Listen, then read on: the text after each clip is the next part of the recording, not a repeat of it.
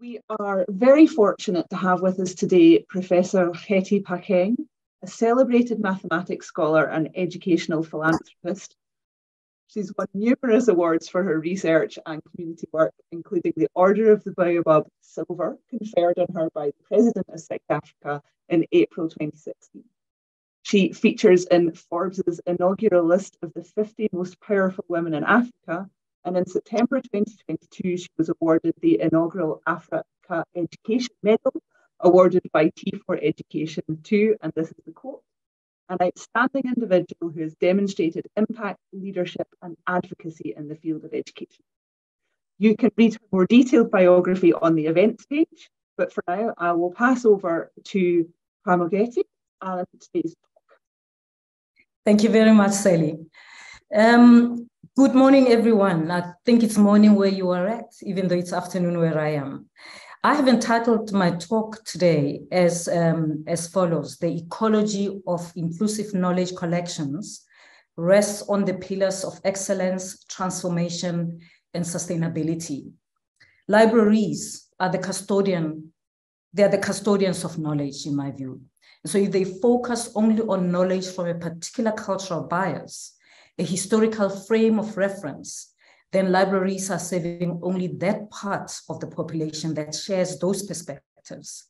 A library that does not seek to include diverse sources of knowledge as well as inclusive perspectives on the use of knowledge will only reinforce the divide between the global north and the global south.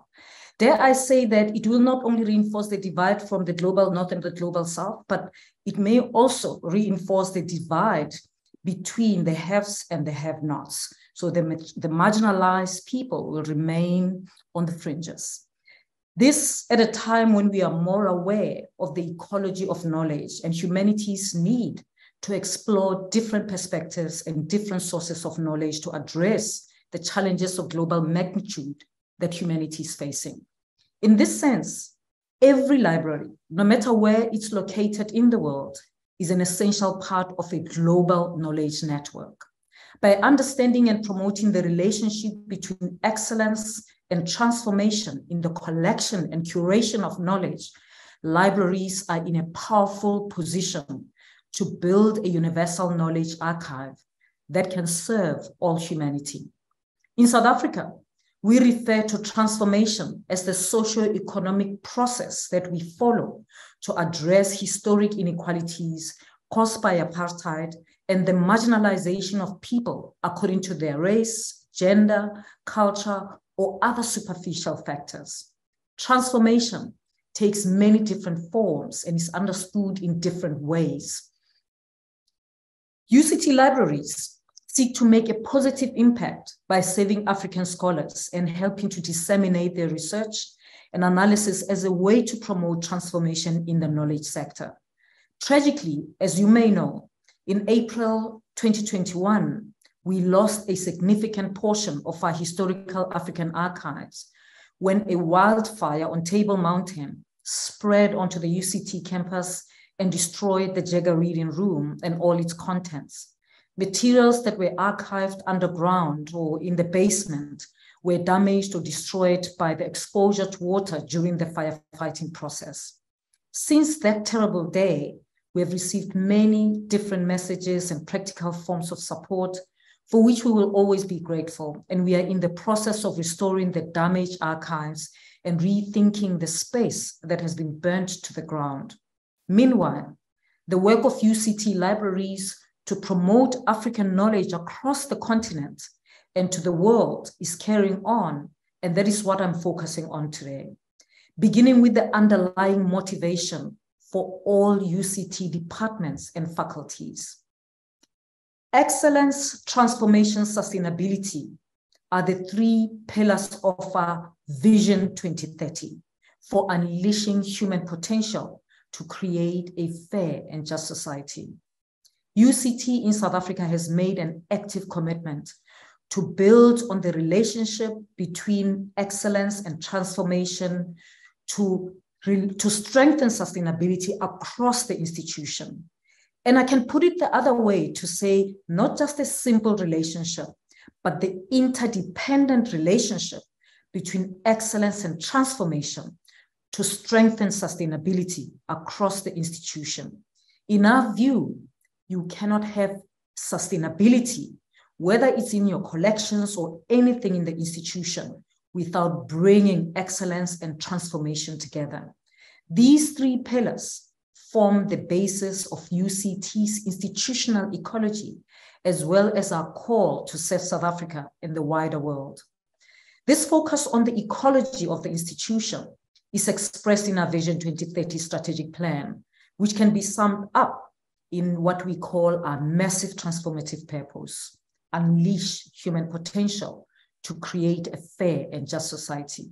And the concept of the three pillars and their importance for unleashing human potential arose out of a period of crisis at UCT, not only at UCT, but at other institutions uh, beginning 2015. UCT's Vision 2030 is a strategic, strategic response to the realization that the world is in crisis and is entering a season of rapid change led by the fourth industrial revolution, combined with climate change, rising poverty and inequality, sexual and gender based violence, warfare, shortages of energy and water, and economic uncertainty, just to name a few. Building a global ecology of inclusive knowledge collections is an important part of building humanity's resources to respond to crisis. People need to identify with knowledge, and knowledge needs to identify with people. The issues that sparked the series of student protests in South Africa in 2015 across all institutions in South Africa, and of course, they spilled over to countries such as the Netherlands, the UK, the USA, those protests were complex, but the primary underlying issue could be defined as a feeling among students that universities did not reflect their culture, their economic needs, or their aspirations to work with African knowledge to solve African problems. We had the Rhodes Must Fall protests that led to the removal of the statue of the colonial leader Cecil John Rhodes from its prime position on our campus and included calls for decolonization of the university curriculum and pedagogy. That movement captured the hearts and minds of young people overseas with similar protests in the UK and the US especially. We had the fees must fall, outsourcing must fall, patriarchy must fall, Afrikaans must fall, and so on. The fees must fall address the high cost of, of tuition, residence fees, and study materials, as well as the suspension of students with fee debts. The outsourcing must fall protest called for all the workers at, at UCT and other universities in South Africa to be direct staff members of the university, eligible for all the perks enjoyed by the UCT staff. And patriarchy must fall addressed sexual and gender-based violence in all its forms, including discrimination, in the classroom and workplace against anyone of a different gender or sexual orientation. And then the Afrikaans Must Fall became prominent on South African campuses, where Afrikaans was a common medium of instruction. This followed decades of protest against the apartheid government's policy that elementary and secondary education in African township, townships must take place in Afrikaans. By 2015, most South African students represented previously marginalized people from poor communities. And so there was a critical mass across campuses. They protested because they wanted to identify with the university. In terms of cultural representation, in terms of economic need, and freedom from racial, sexual, and language discrimination. Universities around the world are facing similar expectations of the millennial generation or what I like to call Generation C. And I describe Generation C as a mindset that is characterized as putting people and the planet before profits, along with a widespread of erosion in, of trust in leadership processes, whether in government, big businesses, or institutions of higher learning. So when I took office as UCT's Vice Chancellor in July 2018, I had to think about where UCT was going because I took office in the middle of protests and shutdown of the university. The university had not enjoyed a full academic year without disturbance since 2015, and this was 2018, and every year they were shut down. So I had to think about where UCT was going as an institution of higher learning, as a microcosm of South African society, and as a key stakeholder in developing solutions to global problems like climate change and inequality. That thinking developed into the three pillars of excellence, transformation, and sustainability. And in my view, these three pillars were important because I took office at a time when the narrative was that transformation and excellence are at odds. Uh, if you prioritize excellence, you're not interested in transformation. If you prioritize transformation, you're not interested in, in excellence. And in a way, that kind of narrative still is present in some spaces in higher education that talking about decolonization is actually lowering the standards or undervaluing excellence. And so I encourage colleagues to look critically at what are we talking about when we talk about excellence. Excellence is not about a specific standard set by a world view limited by the lens of privilege. Rather, we need to recognize it as showing up in many different ways or showing up in its diversity. And it can be achieved by people no matter who they are. And that's because excellence, it doesn't happen on its own. Excellence is enabled. So if you enabled in the way apartheid works, it will show up in the way apartheid worked. And so we have to enable excellence in its diversity, and therefore it will show up differently. And transformation involves not just meeting a quota for admission or employment equity, but rather creating conditions for everyone to express excellence regardless of where they come from. And this requires students to bring not only intellectual capacity to the academic project, but also to gain the cultural capital and allow them to thrive, that allows them to thrive in a university environment. And in many ways, their presence transforming the institutional culture and not them being expected to assimilate in the, in, in the institutional culture. And in fact, of course, not just students, but staff from different backgrounds or from backgrounds from communities that were previously marginalized. Creating conditions for these communities to succeed while enabling excellence is transformation with integrity.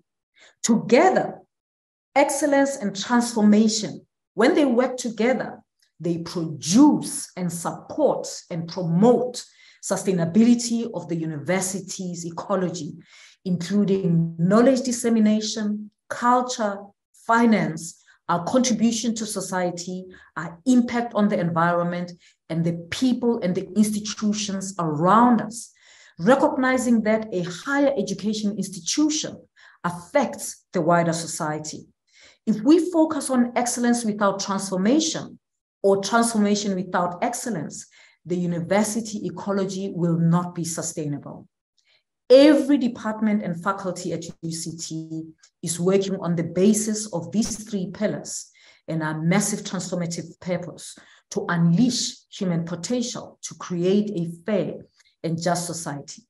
Sustainability, of course, is the long term goal of every human being to build resilience and thrive in the face of our global challenges. Inclusive knowledge collections that are based on excellence in terms of curation, archiving, and other processes, and on transformation in terms of sourcing and making available knowledge from as many sources as possible can help build sustainability. And so UCT library collections sit at the heart of knowledge creation and dissemination within the community that uses those collections. In short, the transformation of, no, transformation of knowledge leads to the transformation of society. Even during apartheid, our library collections at UCT were receiving material that was legally banned by the apartheid government. We created an archive that provided a glimpse into the kinds of battles for freedom and expression that were, were taking place under apartheid rule. UCT Libraries puts into practice the belief that historically advantaged institutions should have a moral obligation to share scholarly content for the advancement of research in the country as a whole and for greater good of the public. To bridge decades of colonialism, as well as South Africa's racial divide and lingering systemic inequalities, UCT Libraries is developing mechanisms for the sharing of African research free of charge and copyright barriers. For example, UCT Libraries started its publishing program at the end of 2016 as part of its open access service with, with the deliberate goal of transforming access and distribution of scholarship for the growth and development of Africa's research agenda and the liberation of previously repressed African scholarly content. In just the five months after UCT Libraries launched the first open access book in Sesotho in November 2020, authored by one of our staff members.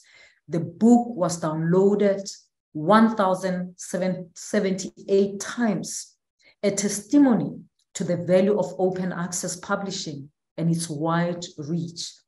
The library, as a publisher, open access service provides an alternative model that can contribute to the production and dissemination of, of African knowledge and can thus accelerate diversity, equity, and inclusivity in the publication of research.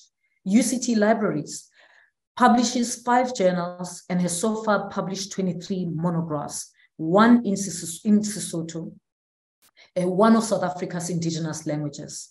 Neither the authors nor their institutions pay publication fees, article processing charges, or other fees associated with getting scholarship published. African challenges such as the exorbitant cost of bandwidth and connectivity interruptions, together with frequent blackouts, had to be factored into the deliver in, into deliver an access for all service. New features such as audio functions, photo enlargement, and download cap capability were developed in response to perceived needs of an African scholarly community. And three example publications are Atlas of Pediatric HIV Infection, an illustrated guide for healthcare professionals. This was authored by academics from five institutions in three countries, Nigeria, Kenya, and South Africa. The aim of the Atlas is to illustrate conditions recorded in pediatric patients presenting to HIV clinics and wards in an African setting. The second one is Open Access Atlas of Otolaryngology, Head and Neck Operative Surgery, Volume 1, Head and Neck. As of 2019, 64% of African countries had fewer than one otolaryngologist per million people, which is exacerbated by the lack of facilities, while developed nations have around 13,000 otolaryngologists per 100,000 people. This textbook uses embedded audio and video clips to help students understand surgical procedures outside the classroom and to assist practicing doctors in Africa across the continent with the latest advances in the field. The content can be downloaded onto cell phones to access in rural areas. The third one is constitutional law for students, which is a textbook for students written by students to help navigate one of the most challenging subjects in a South African law degree. A large cohort of the student body comprises second language or later English speaking students who have challenges navigating dense legal content.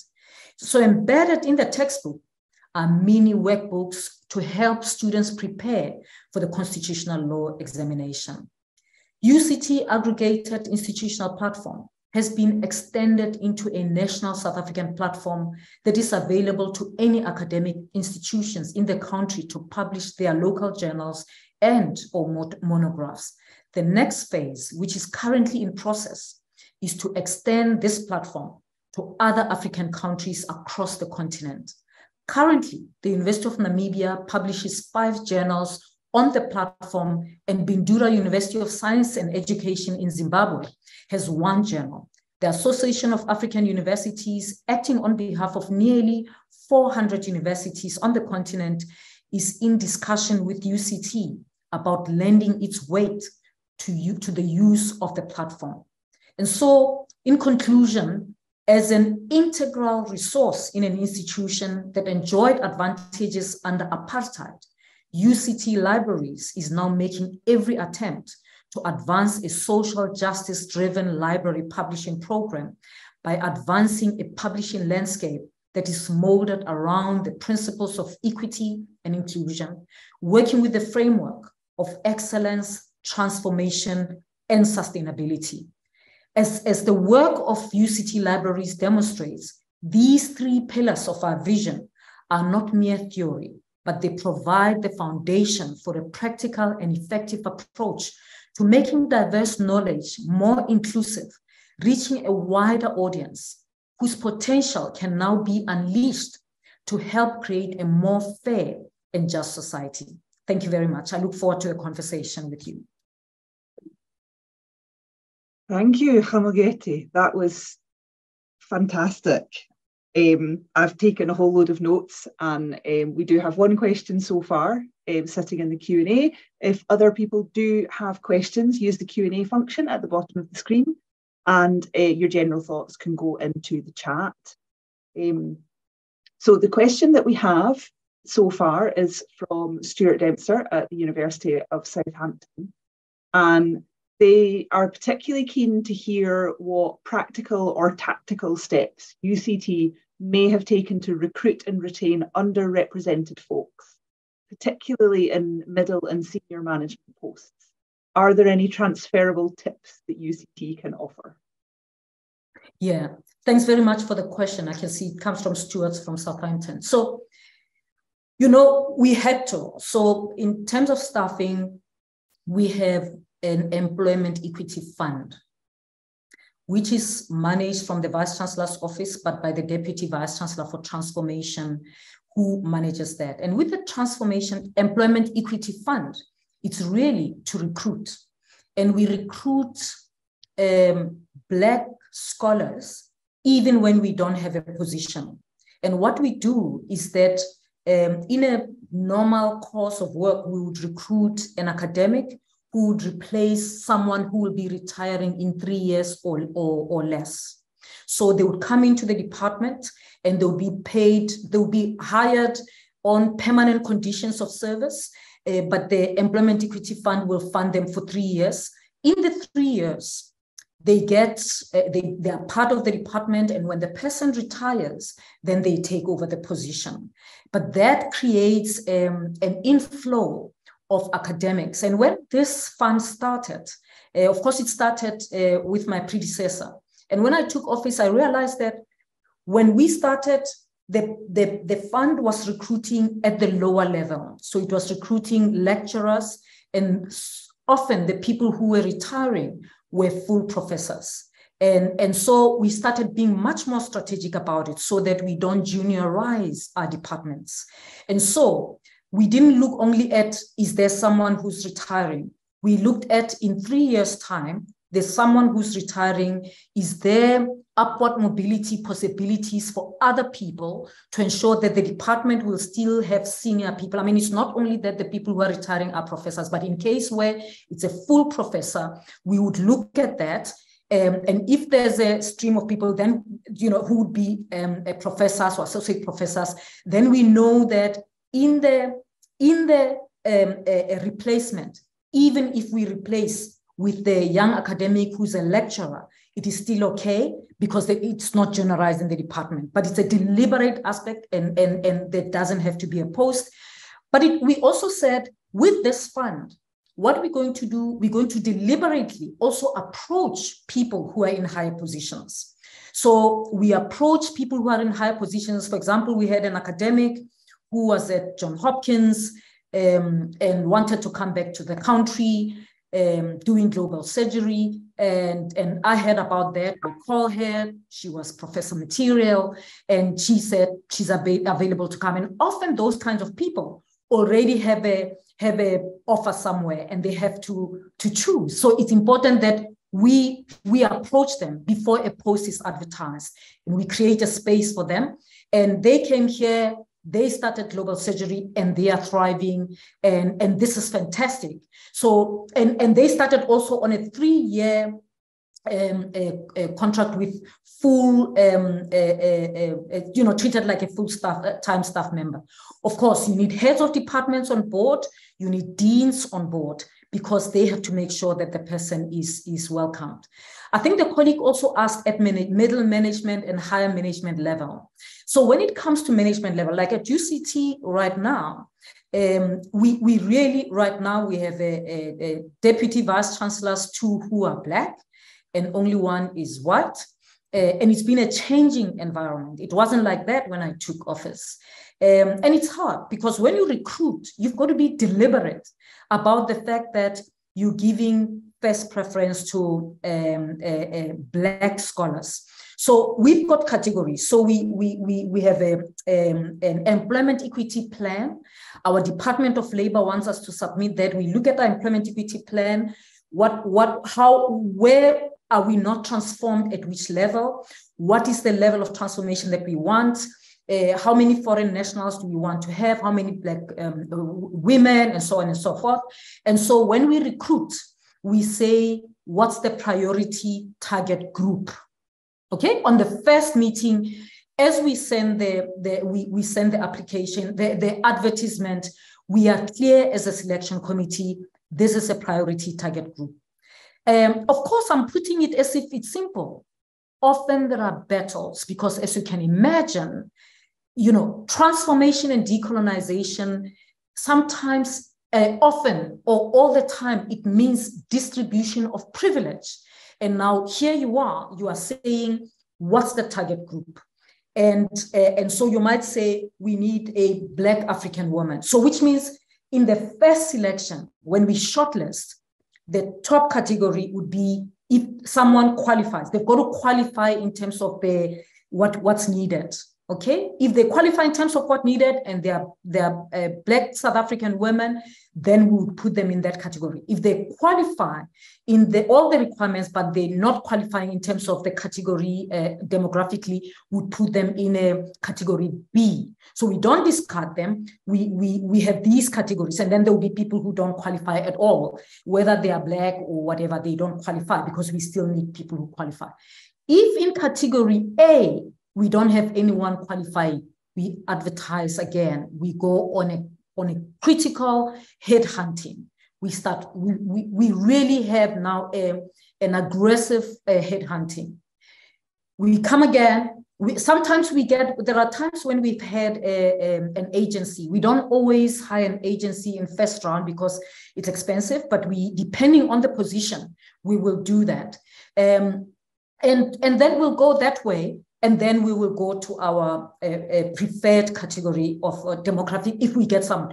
If we don't, in the third round, we then consider the B categories. But we will, at all times after the, the first round, we notify the people in the B category who don't fit the demography that we have kept you on this so that they know it's not a regret that will still come back to them.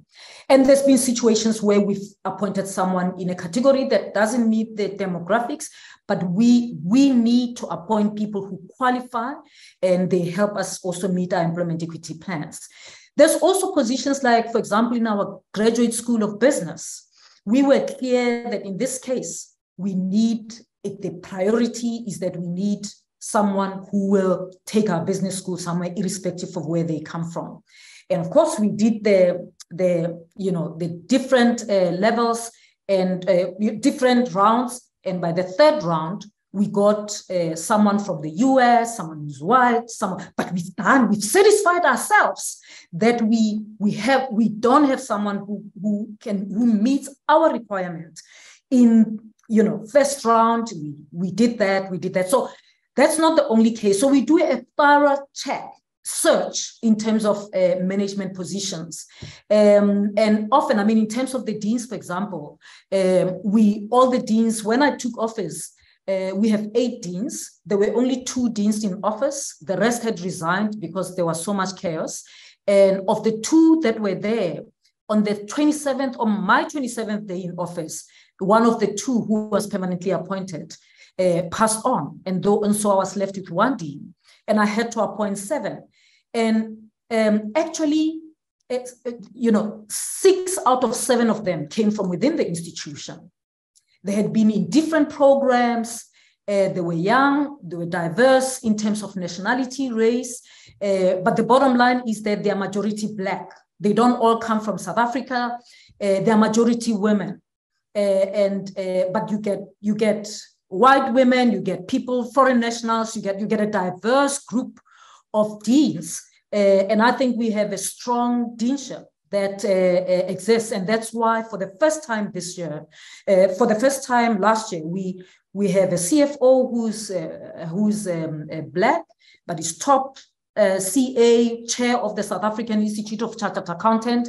We've got a research executive director for the first time in the history of the university who's a Black African woman, first time in the history, and she's a scientist. She's got a doctorate in bio in the biosciences. And we've got an um, currently an acting executive director of HR who's also a Black African, uh, very experienced and so on. But it, it takes time.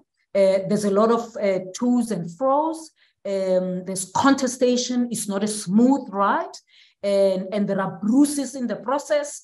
Um, but but one as a, as accounting officer has got to lead with purpose and keep moving forward.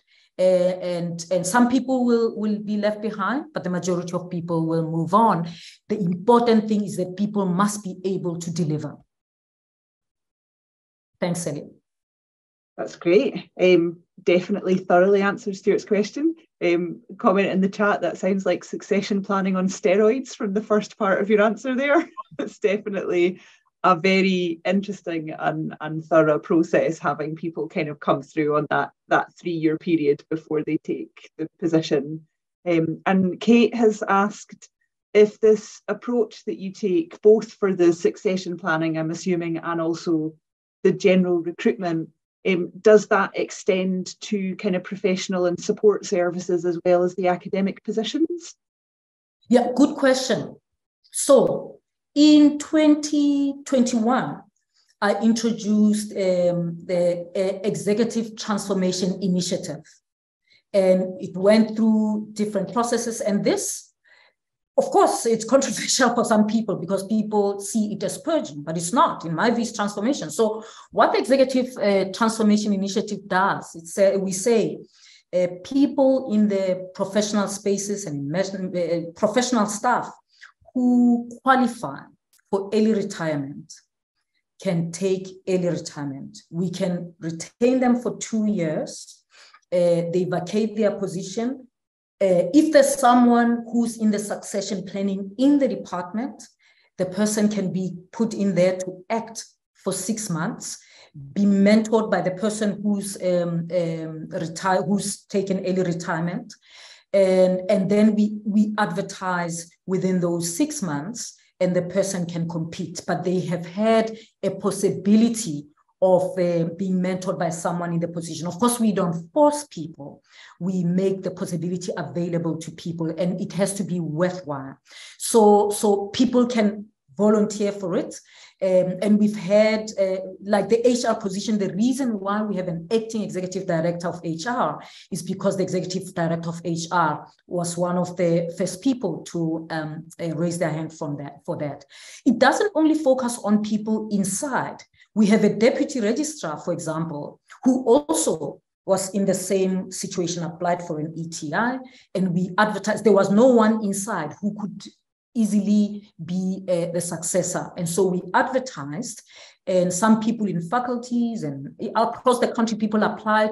We found a Black African woman who could come in, but the deputy registrar remains in the system for two years has got another um, task in the registrar's office, but then uh, uh, uh, is available for, for the new deputy registrar who's not acting in this case because they competed for the job, but they're available for them to, for mentoring, for knowledge, for you know historical memory to be to be shared. So we do have that, um, and and we have started implementing it. We started implementing it this year, Um, it's not an easy ride because sometimes it's seen as purging um, uh, uh, white people, um, uh, but but it is people are not forced. In fact, there are some people who applied for it, and and uh, I didn't approve it because their departments did not have a problem with transformation.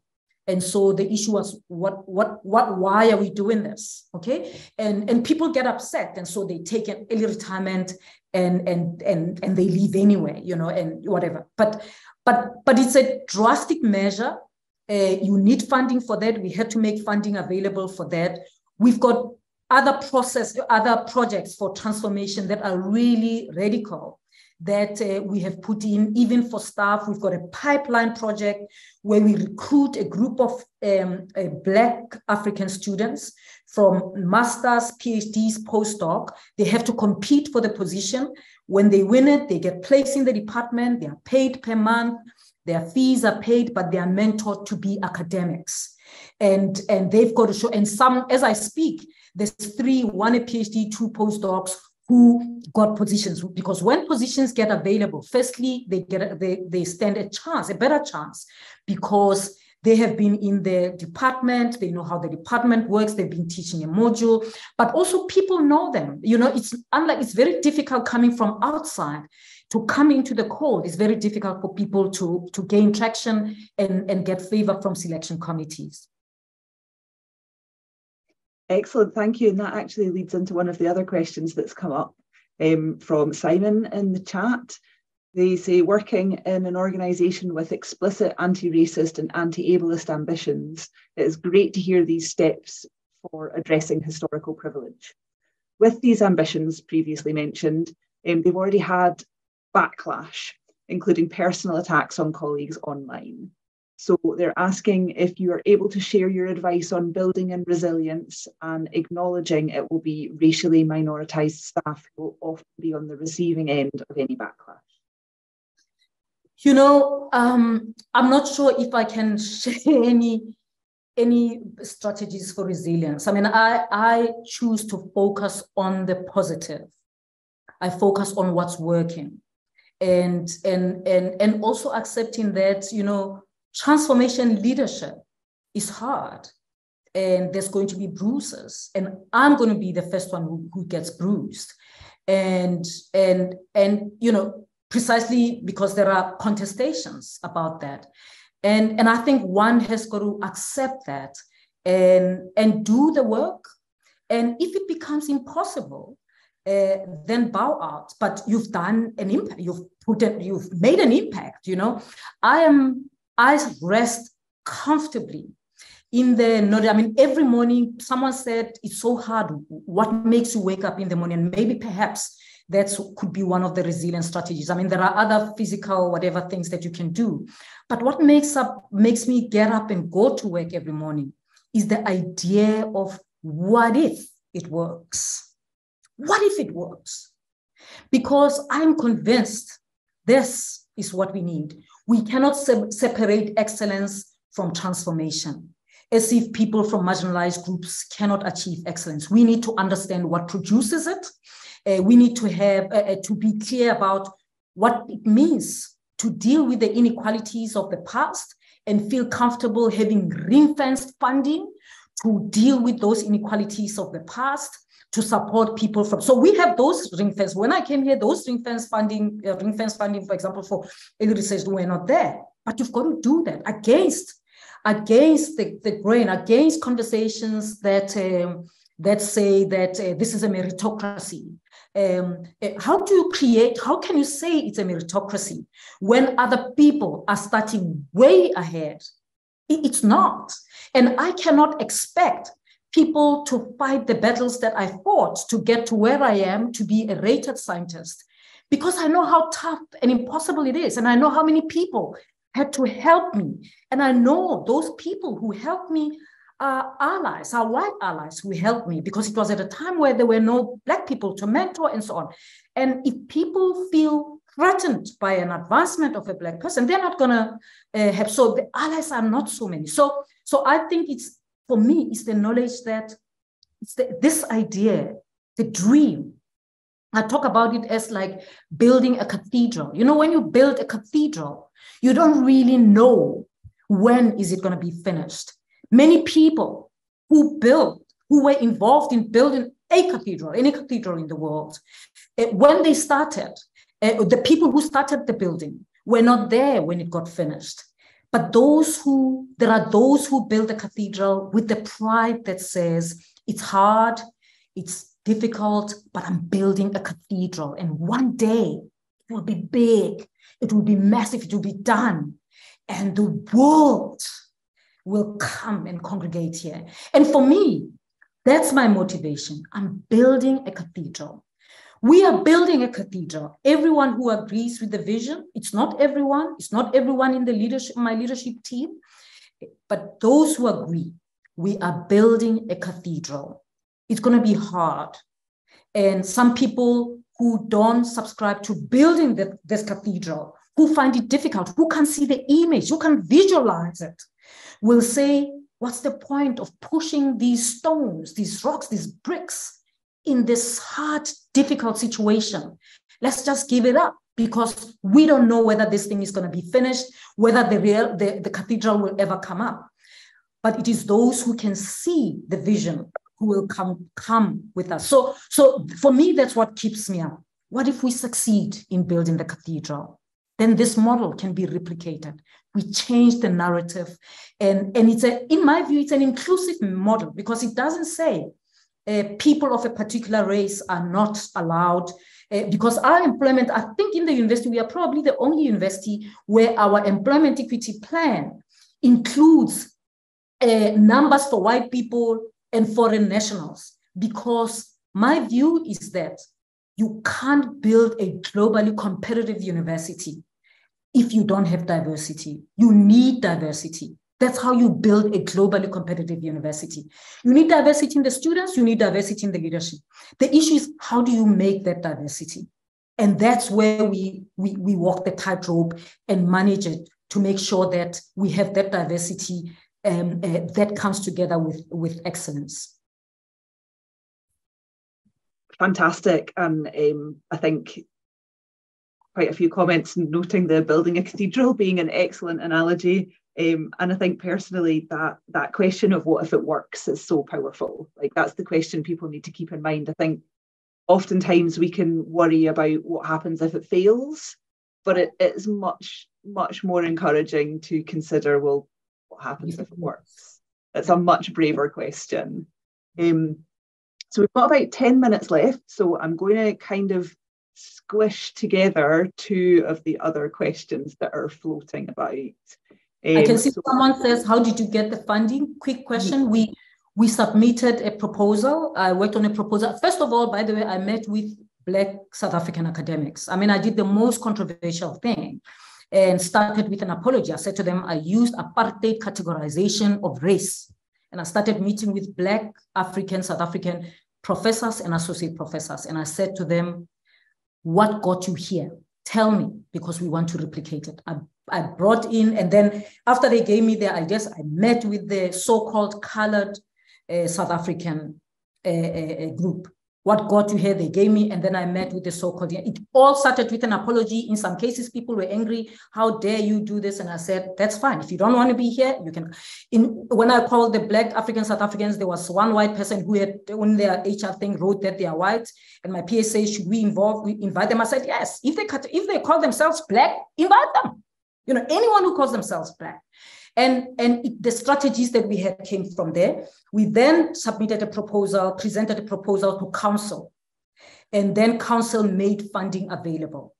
And that's how, so it is special funding, and that funding is available. And then I allocated it to different vice, deputy vice chancellors who then manage different programs. And then they had, they had to implement those programs. So the programs that we are implementing are really the ideas of uh, uh, professors and associate professors from mar- formerly marginalized groups um, because we asked them how did they get here. Excellent, thank you. Um, so we do have a question about what global North libraries and universities can do to help democratise both knowledge creation and access to knowledge. but that feeds into a question about open access, I think. Those mm. two things are quite related. Um, and the question about the open access is it feels very important to your transformation work. And are there further plans to develop platforms and tools which will support inclusion, excellence, and transformation for UCT and beyond, which you talked about? So they're kind of a little bit related. So extending your open access tools to kind of work with the inclusion, excellence, and transformation, and also what libraries and universities can do around that democratization of knowledge. Yep. So, so as I explained in my presentation, I mean, the next phase of what we're doing is, the, is extending our platform to all African countries to get African institutions to be able to publish their journals and their monographs on our platform. I mean, the big thing about transformation um, uh, in this space is um, knowledge from the continent, knowledge from Africa by Africans, and and uh, uh, uh, we we making it available free of charge, which is you know uh, publish it open access free of charge, which is not always the case. And my view is that other libraries in the world um, can, for example, partner with us. Okay, that's one model that we can partner uh, in this endeavor and and make it um, uh, enable more African um, institutions to publish on our platform. I mean, one can say, well, do the platform yourself. And, and what we have then is like, okay, so again, this has to be done by the West. You know, you know, uh, what does it mean? But I think partnering uh, may may create something much more unique uh, that says this is an um, a, a, a, an equal a partnership or, or is a partnership that actually goes beyond equitable partnership because it, it, recognizes that Africa might not have financial resources, but it's got intellectual resources that the West need to engage with. So how do we create a possibility for other institutions in the West to engage with these journals? Can we get those libraries subscribing to the journals that we have? Can we get those libraries um, perhaps uh, uh, getting access to those monographs or, or, or purchasing them or whatever, so that there is the knowledge, um, knowledge flowing from here to the West, unlike the normal way where you have the West knowledge from the West um, flowing to the South. So, so th- there's, I think there's different ways in which we can we can collaborate in this regard. Um, and, and I think in, in cases where libraries are housing archives, African archives, whichever way they got to your space, uh, if they are nowhere on the African continent, I think that that institution should be worried. Because um, even if someone doesn't know where how they got there, I mean, it's like you know here at UCT when I took office, you know we have skeletal remains in our Faculty of Health Sciences, and um, and we, we we asked ourselves a question: Where do they come from? Whose are they? And what you know, we've been in apartheid. Could this be a result of apartheid. And actually, we found that yes, uh, some of them were obtained illegally. Uh, and then we didn't wait for the communities to come and cry to us and say, you are racist, you, these were obtained illegally from indigenous people. We went to them and say, we have done our research, we have found these skeletal remains. They, they, we've done a, a, a research that includes these um, scientists from different um, uh, disciplines and they come from this space.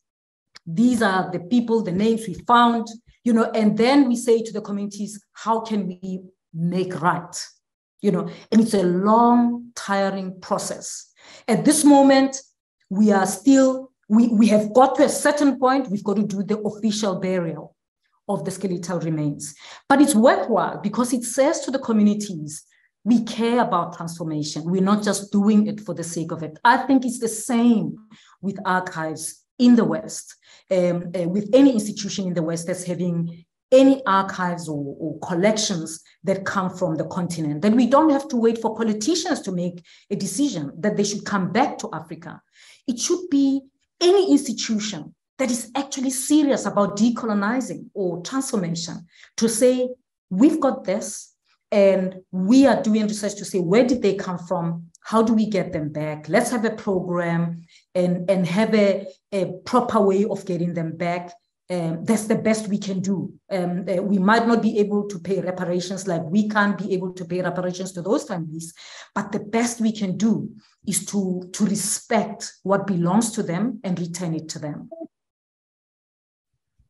Thank you. That's actually touches on the final question that we've got sitting in the Q&A, which is that some museums are moving towards the repatriation of objects and what efforts would you like RLUK members to focus on to build greater equity? And I think you've touched on that in your answer just now.